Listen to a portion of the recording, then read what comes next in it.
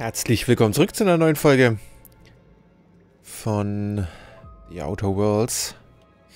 Ja, ähm, da sind wir jetzt tatsächlich gerade ein bisschen zu spät gekommen. Oh, du hast noch äh, Zeug dabei. Sehr cool. Das hätte ich dann ganz gerne mal. Timeline discrepancy detected nearby. The organic matter that comprises this lab worker died at a similar time and of similar circumstance as the other corpses already scanned. Okay. Das ist jetzt auch nicht so ähm, verwunderlich, muss ich zugeben. Timeline discrepancy detected nearby. The organic matter that comprises this lab worker died at a similar time and of similar circumstance as the other corpses already scanned. Ah, okay. Können wir da... Ne, wir können nicht mitreden. Ist ja auch keiner da. Gut, Terminals. Alle acht Varianten von Spectrum Wodka, okay. Ähm, zwei von acht haben wir schon mal.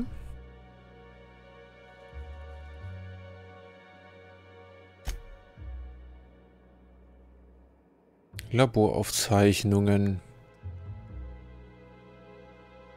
Die Gatling verspottet mich hinter ihrem Glaskäfig. Das, ähm, der verdammte Teufelsding weigert sich zu funktionieren. Und ich kenne den genauen Grund. Ich bin es. Wieso bin ich nur so gebaut? Warum? Immer wenn ich nüchtern versucht habe, am Innenleben herumzufummeln, habe ich Teile abgebrochen. Oder Verbindungen versagten. Oder Teile ragten aus dem Gehäuse heraus und haben Kurzschlüssel und andere Komponenten verursacht. Äh, an anderen Komponenten verursacht. Die Kurzschlusskomponente, wer kennt sie nicht? Hm. Die Lösung war offens also offensichtlich, mich vor der Arbeitszeit, vor jeder Arbeit zumindest ein wenig zu betrinken. Ja, das stimmt. Das macht es eigentlich immer besser. Wenn ich entspannt bin, zittern meine Hände nicht und es fällt mir so viel leichter zu sehen, wo die Teile hinpassen oder wie ich bestimmte Verbindungen überbrücken kann. Das Problem ähm, ist aber natürlich, dass ich dann auch wenig kreativ werde. Wie sollte eine Waffe auch auf rein mechanischer Basis funktionieren? Ähm, wieso würde man nicht erst sagen, äh, würde man nicht erst, sagen wir mal, eine jede verfluchte Sorte Spectrum Wodka das Ding einsetzen müssen, bevor es das erste Mal feuert. Ich weiß nicht mal, ob es am Überleben der Waffe liegt oder ob es eine Art Schloss ist, aber alles ähm, sieht so aus, als ob sie feuern könnte, äh, sollte und es einfach absolut nicht tut. Ich muss jede Sorte von Spectrum besorgen, einschließlich Black. Ich kann nur hoffen, dass das Lager vor kurzem eine ganze Pla Palette des Spektrum-Sortiments äh, empfangen hat. Sonst wird all diese Arbeit umsonst gewesen sein. Ich muss wirklich das dümmste Genie diesseits von Hälschen sein. Gut. Äh, nicht alles vorhanden. Und dann kriegen wir diese Knarre, wenn es gut läuft.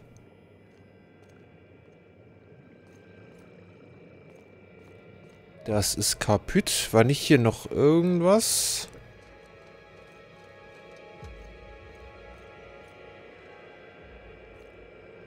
It's not gonna... Oh, whoops. There it is. Okay. This is... Whew. This is Dr. Blossom. Eridanium gigaseus Slug Research Report 1. Subject, a bunch of slugs. Ugh. These things may well be Rizzo's ticket to the top of the board. But at the end of the day, they still look like my brother would if he ever stopped wearing that damn toupee. Initially found these little bastards suckling on the hairy undersides of a teacup canid.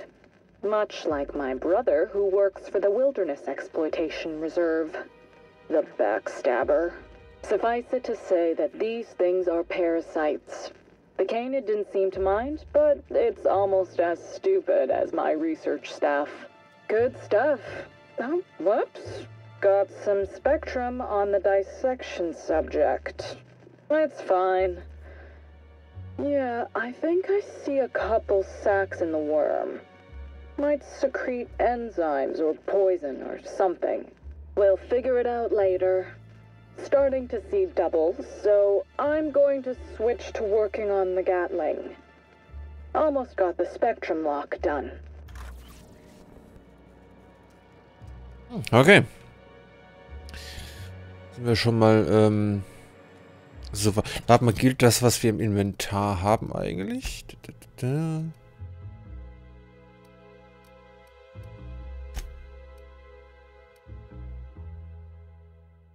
Red, Orange, Yellow. Red and Orange haben wir. Green, Blue, Indigo, Purple. Okay. Und die Verkäuferin mal noch fragen.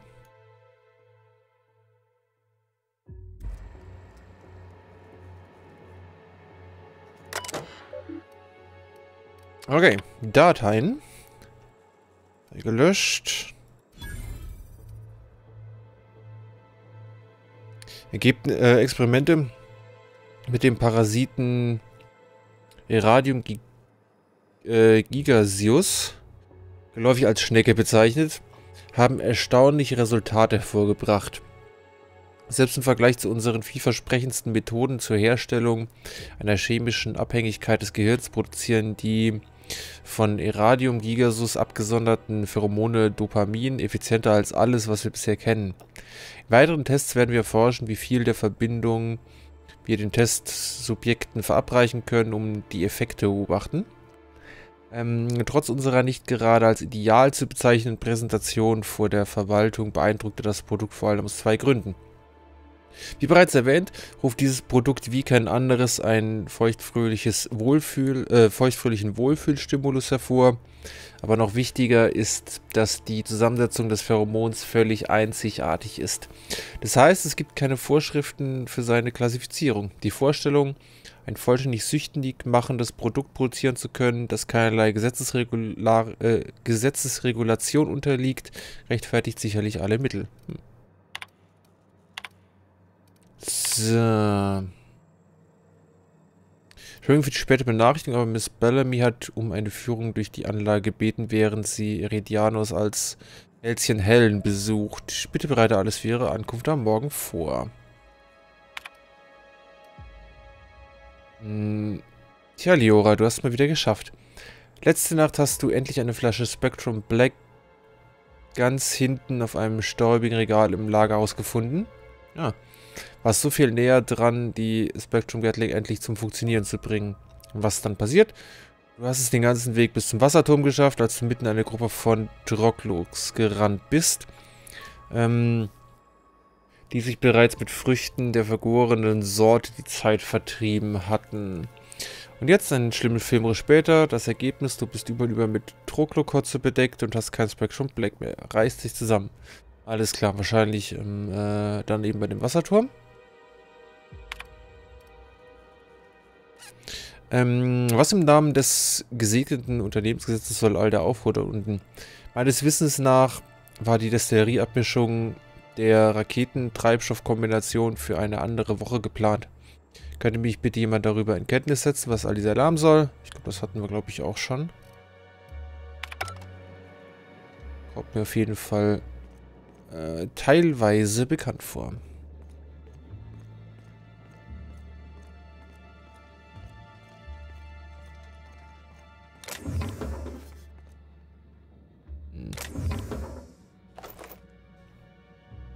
Munition nehme ich auf jeden Fall noch gerne mit.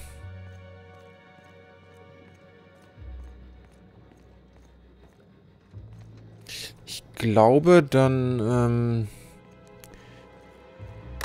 würde ich tatsächlich gleich mal... Ähm... We gotta hunt this killer down, boss. They're not gonna stop until we do. Ja, ich würde tatsächlich erstmal gucken, dass ich die ganzen Spektrum, also die Wodka-Dinger zusammenkriege.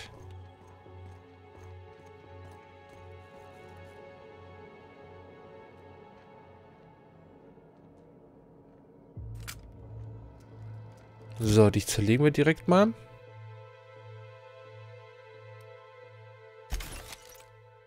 Wir brauchen jetzt hier langsam wieder Waffenteile. So, und ich wechsle mal kurz auf den ähm, Nebenauftrag hier.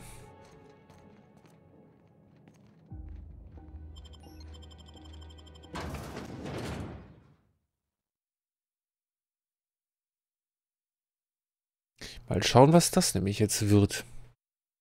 Dafür könnte mal dann Nero oder so geben.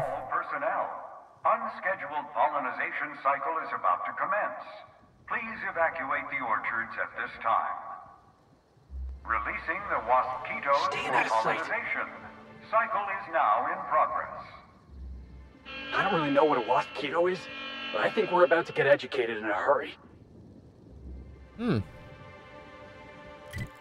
Okay.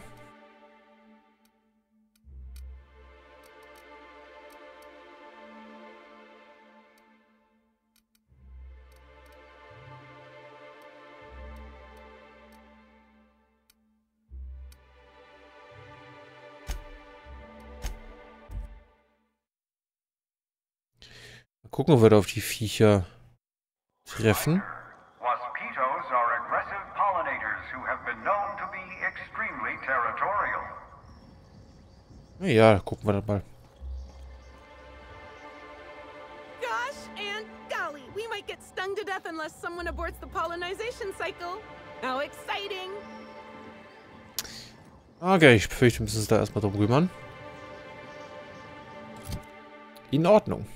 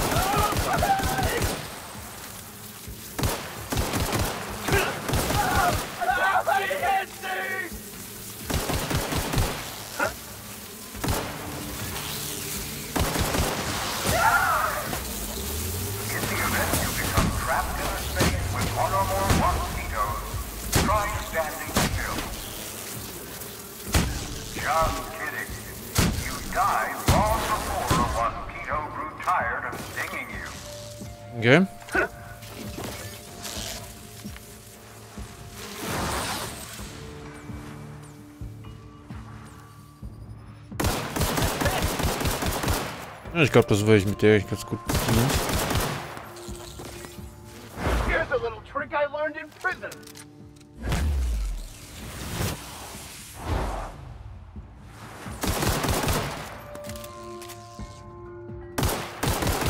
Muni haben wir mehr als genug. Oh, Felix geht's aber nicht mehr gut, sehe ich gerade.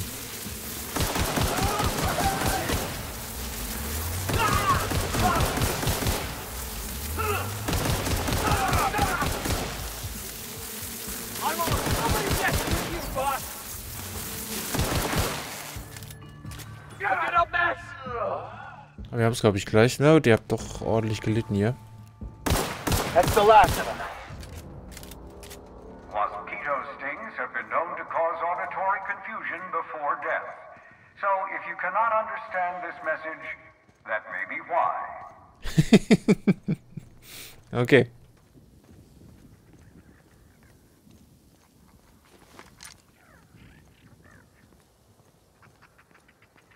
Könnt ihr hier noch mal ein bisschen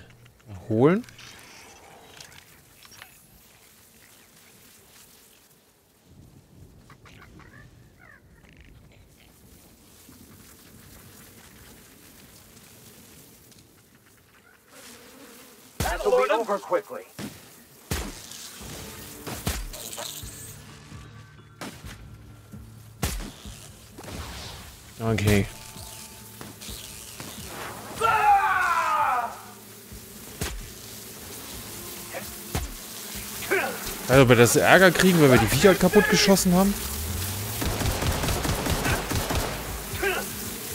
Dann müssen wir sie ja irgendwie verteidigen.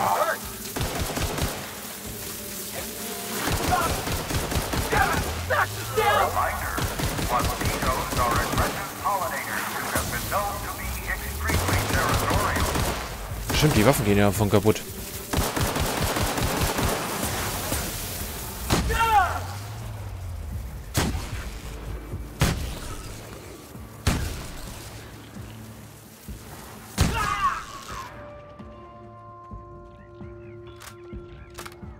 vielleicht ist das dann doch gar nicht mal so sinnvoll.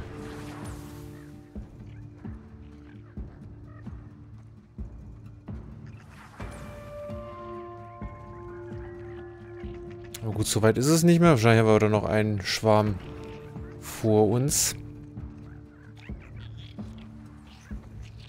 Wollt ihr euch mal wiederbeleben oder so? Wir sind jetzt aus dem Kampf raus. Es leben zwar noch Viecher.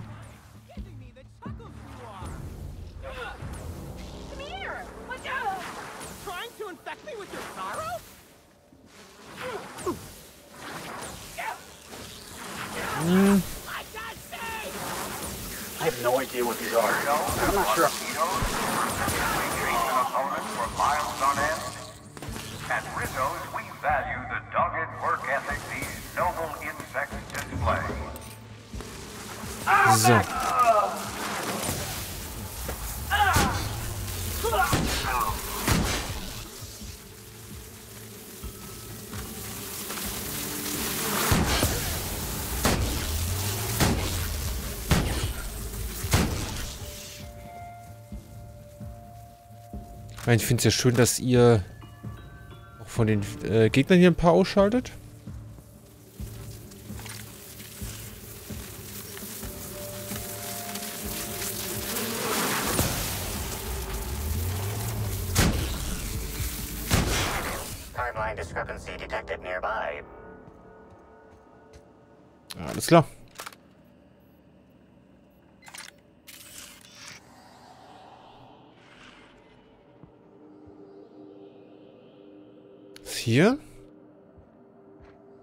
Wahrscheinlich außerhalb. Ja, stellen wir das erstmal ab.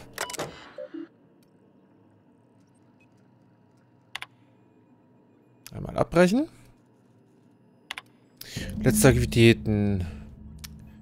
Äh, okay. Hier liegen wir jetzt zwei Wochen zurück und werden demzufolge gelöscht. Nachrichten. Westbrook wirkt damit zu... Ja, okay, alles klar. Da wissen wir, wo es herkommt.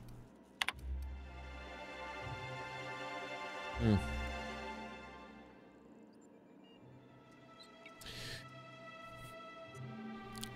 So. Das ist wohl auch nicht so gut gelaufen.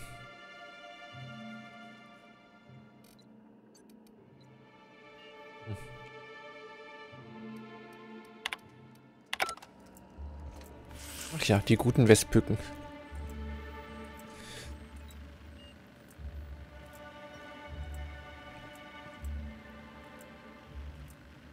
So, das kriegen wir nämlich gerade nicht auf. Ich glaube auch selbst mit Boosts nicht.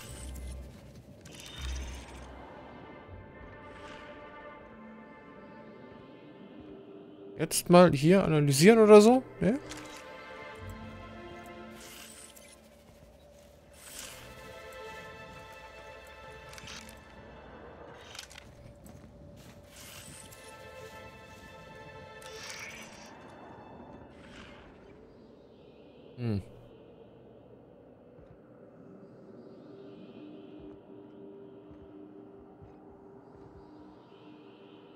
Ah, da ist es. Dieses Multifunktionswerkzeug wäre überall anders völlig unauffällig, aber gerade hier kommt es dir merkwürdig vor. Okay. Einmal Gehäuse untersuchen. Das Gehäuse ist vernarbt und zeigt kratzt deutliche Spuren von Abnutzung. Außerdem bemerkst du eine zweieinhalb Zentimeter lange Stahlpalette, die an der Seite des Geräts genagelt wurde. Hm. Lösen wir mal. Nägel sind nicht so gut fixiert, wie sie scheinen, und es ist dir ein leichtes, sie äh, weiter zu lockern. Als die Platte von dem Gerät löst, erkennst du, dass sie ein Slug-Logo verborgen hat. Tool is comprised of 99% plastic, 0.5% steel, and 0.5% carbonated sugary beverage. Trace amounts of kerosene, alcohol, hydrazine, and liquid hydrogen also detected.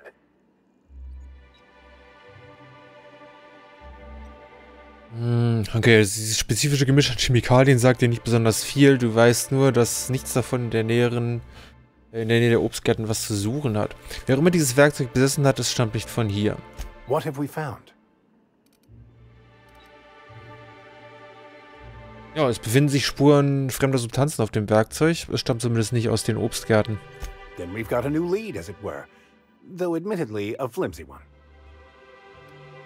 Darüber hinaus ähm, ist es wahrscheinlich, dass die Person, die die Westpücken freigelassen hat, für Slug gearbeitet hat. Or maybe they were close to somebody who was a slug employee. Mhm.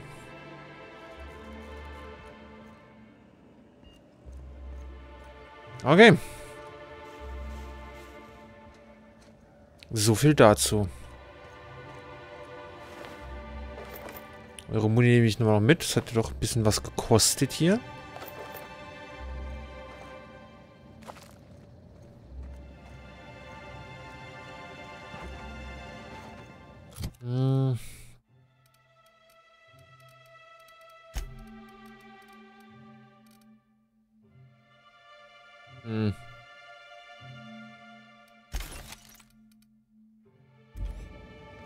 Passt schon.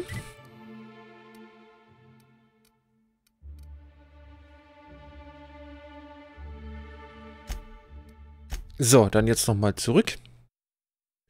Nochmal die Quest wechseln und dann können wir jetzt hoffentlich mal ähm, problemlos mit der Angestellten hier reden. Ist nachgeladen? Na, fast.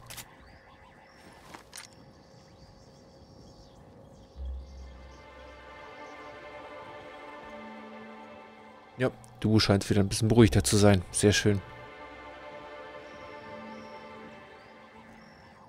Irgendwas wollte ich auch so die Quest wechseln.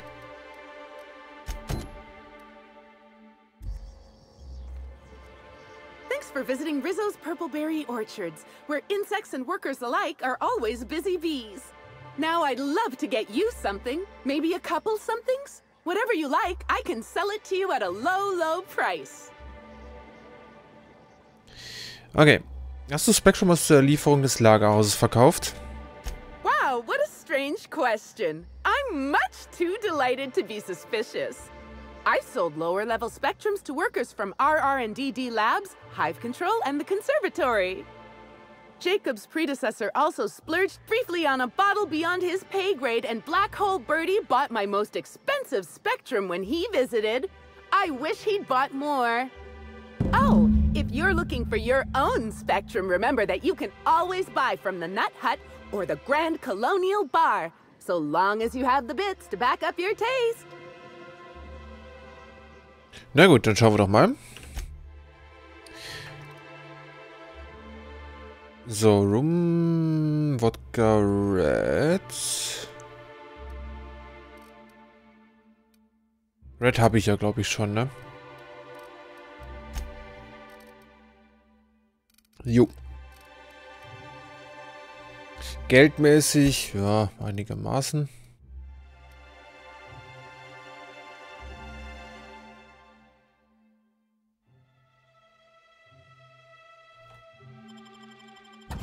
Werden wir mal gerade ein bisschen Schrott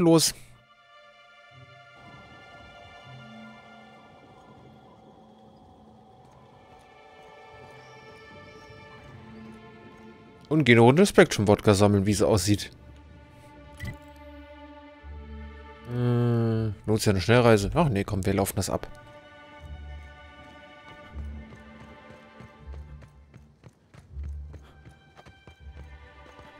Das sollte jetzt ja einigermaßen passen. War hier eigentlich ein Hintereingang? Nö.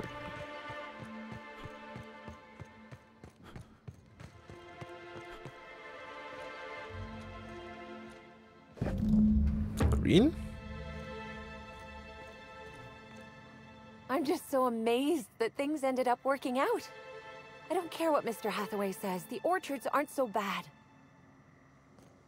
Okay, freut mich ja, dass du noch Spaß hast bei der ganzen Sache.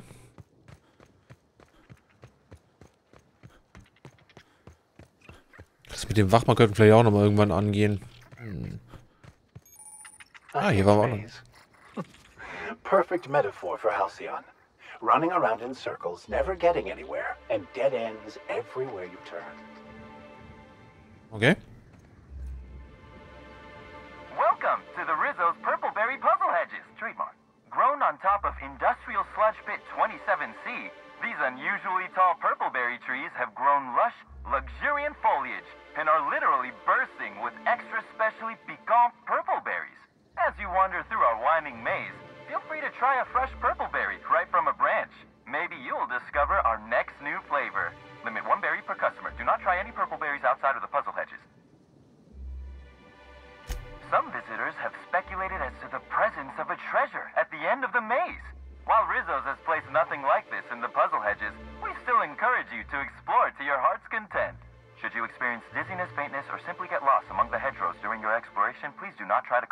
to personnel.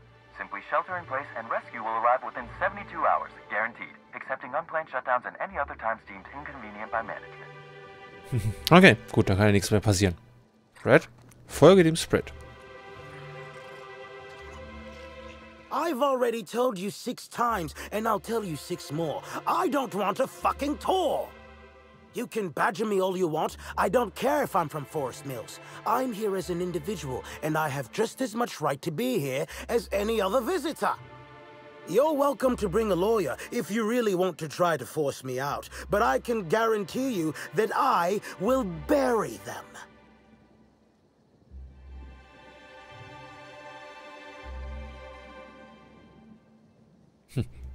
Pass auf, wie du mit mir sprichst. Je lauter du schreist, desto mehr beginnt meine Pistolenhand zu zucken. Laws alive! Rizzo's has finally sent their strong armors, I see. Wait a moment. You have all your teeth. You're not soaked in filth, and you don't look quite as slack-jawed as the regular Rizzo staff. Are you not with Rizzo's?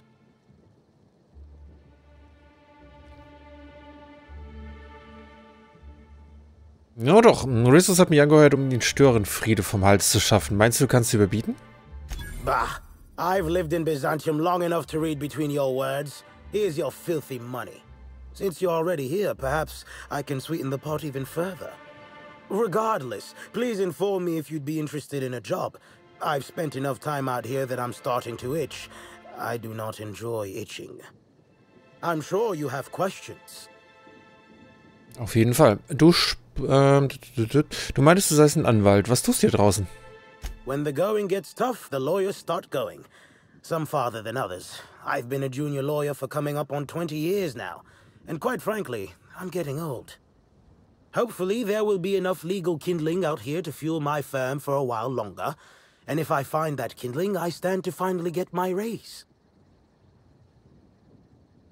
Du sagst, du arbeitest für Forest Mills? I do indeed. Specifically, I'm their general counsel. Forest Mills, if you somehow don't know, owns Tile, Wentworth, Dock Rocket, and 24-7 Furniture. We're something of a big deal. Du sprachst von einer Zusammenarbeit. I did. You see, Rizzo's has been advertising a contest in the puzzle hedges. Whoever gets to the center first gets a bottle of the first Spectrum ever made, the Spectrum Original. My interest, however, lies with the associated promise. The chance to attend the Spectrum Brown unveiling and meet Halcyon Helen. Das wird ähm, schwierig werden.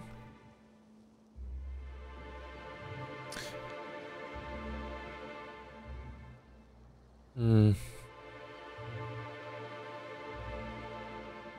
Du musst nicht ein großer Helen-Fan sein, was?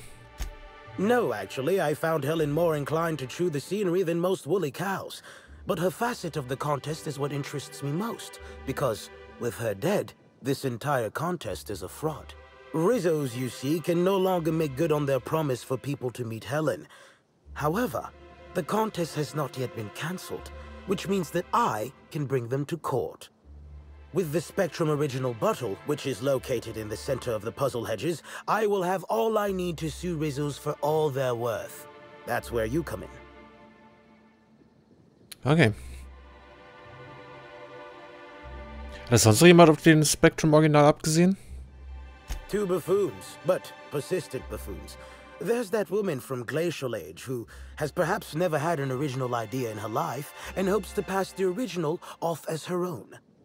Then there's Navarre, who is strange. I suggested I give her the original after my lawsuit if we worked together, but she wouldn't hear of it. It must be hers alone, it seems. Ich bin nicht sicher, wozu du meine Hilfe brauchst. Das ist doch nur ein Irrgarten, oder? Navigating the maze is normally no easy task. Rizzo's has no interest in giving their property, however old, away for free. No easy task, huh? We'll just see about that. I'm glad you're feeling confident, but this maze is deadly by design. And if that weren't enough, Zimmerman and Navarre don't want anyone sneaking away with their prize. The place is mined and rife with murderous mechanicals. Warum möchte Forest Mills Rizos verklagen? Technically, I sue not on behalf of Forest Mills, but for my own benefit. In arbitration, it might be difficult to argue that this contest is designed to slight Forest Mills. However, as it so happens, if my lawsuit takes a chunk out of their savings, then I can collect, while also damaging their capital. It's a mutual win. I make millions, Rizzo's falls further from the board's good graces, and Forest Mills products look that much more valuable compared to Rizzo's trash. Warum sollte Rizzo's eines ihrer Originalprodukte gratis herausgeben? I don't know if you know this, but Rizzo's is on the outs. They're losing power and losing money. This was no doubt a desperate bid to regain some lost clout. That, or their marketing team is particularly spiteful. You know the saying, I'm sure. Why work for a promotion when sabotage takes half the time and a quarter of the effort? Na gut, ich beschaff dir deinen Preis. Excellent. I look forward to finally being able to focus solely on legal matters. Oh, and keep an eye out for competitors. Odds are they'll be looking out for the original as well. Alles klar. Dann schauen wir doch mal. So, aber das machen wir in der nächsten Folge. Ich bedanke mich fürs Zuschauen, hoffe ihr hattet Spaß. Seid dann beim nächsten Mal wieder mit dabei. Und bis dahin macht's gut und ciao, ciao.